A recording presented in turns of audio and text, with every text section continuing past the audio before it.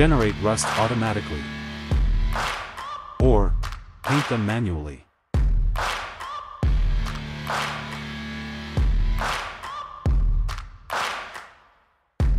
Change rust details. And more.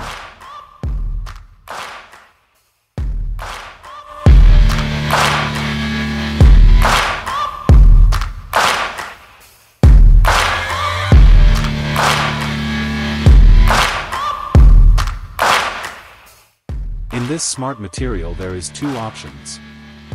Let's create overall rust, then modify them with paintbrush.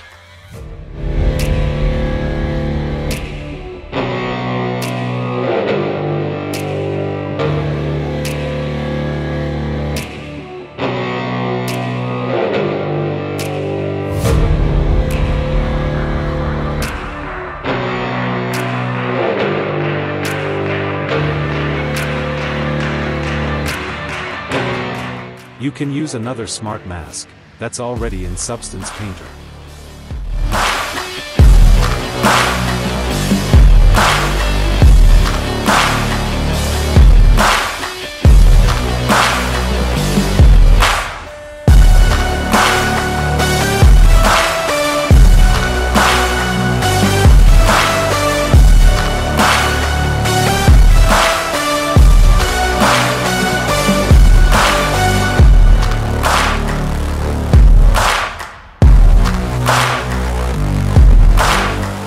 In Paintbrush, I found this alphas make as a good result.